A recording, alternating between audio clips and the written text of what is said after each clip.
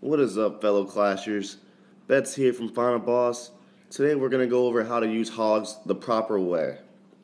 Let's go to this replay and I will break it down step by step on what I do.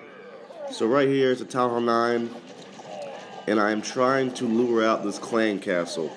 Always, always, always lure out the clan castle first. You do not want to make the mistake of just going in there blindly, not knowing what he has in there. So I tried to lure it out from the bottom. Teslas came up, so I said, hey, you know what? I'm going to come from the top with my heroes.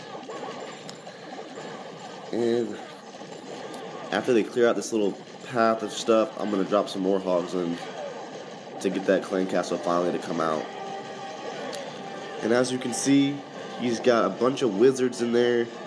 And it's a good thing I didn't just rush up in there not knowing what he had first.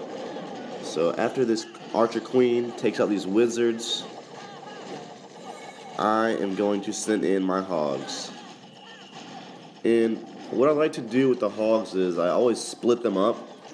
That way one half of them doesn't just get, or if I send them all in at once, they all just don't get, you know, spring trapped out or, you know, it's just a better chance for the hogs to survive if you split them up right there. All of them just got flung out on the right side, which didn't help me at all.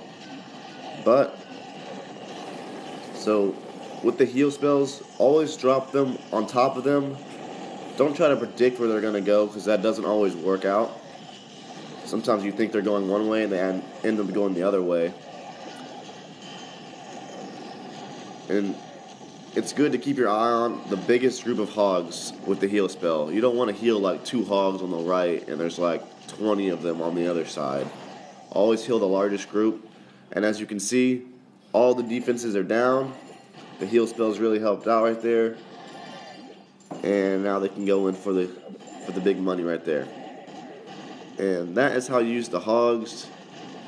Always drop the heal spells on top always lure out the clan castle and split up those hogs so that they don't get all thrown out by spring traps or, you know, run into a double bomb or something like that and then you're out of hogs.